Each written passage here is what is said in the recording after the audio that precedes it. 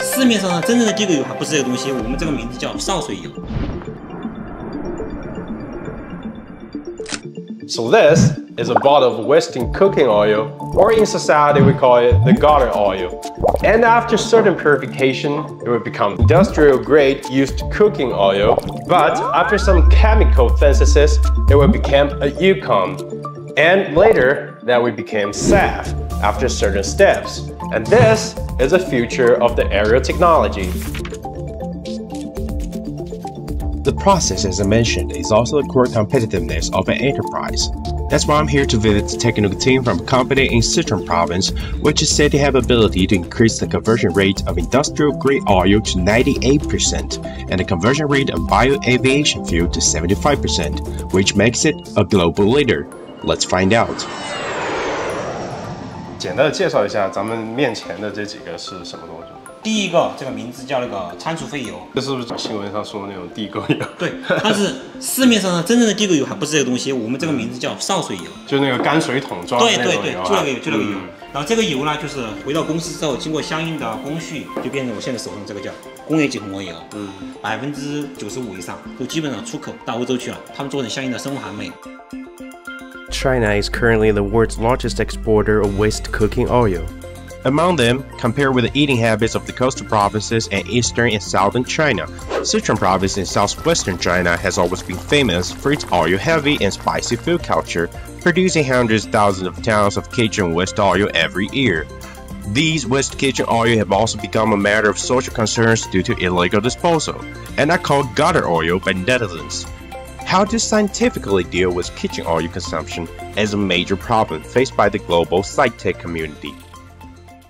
餐厨废油去制备生物航煤遇到的最大的问题，就是餐厨废油中含有的杂质。就像我们四川人或者山东人、河南人吃的比较咸，咸就是氯化钠，氯在水或油的时候，它会分解变成钠离子和氯离子。在后续制备生物航煤中，要使用加氢的工艺。氢和氯就会结合形成氯化氢，就是盐酸，这个对设备具有高腐蚀状态。第二就是各种香料也好，添加剂也好，含有一定量的金属离子，金属离子过高对催化剂会形成毒害作用。This situation may change in the future. In recent years, the much criticized gutter oil has suddenly become the hotspot of bioaviation kerosene. Today, the global waste oil to biofuel industry is developing rapidly.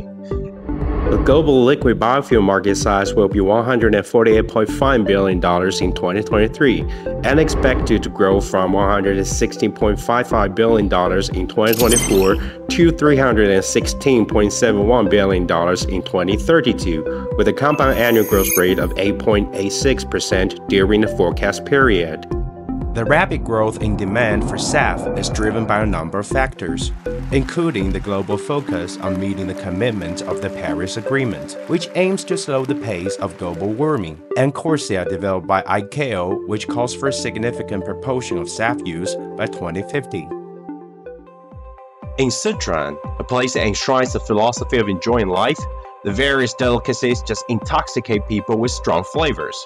四川人的餐饮习惯决定了我们的原料在全国都处于一个比较丰富的区域。 The next time you get together with friends and chat over skewers, you might as well look up. Maybe the planes flying overhead are also inseparable from a seemingly ordinary meal in front of us. With the technological revolution, more Chinese biofuel products will emerge in the European, American, and even global market.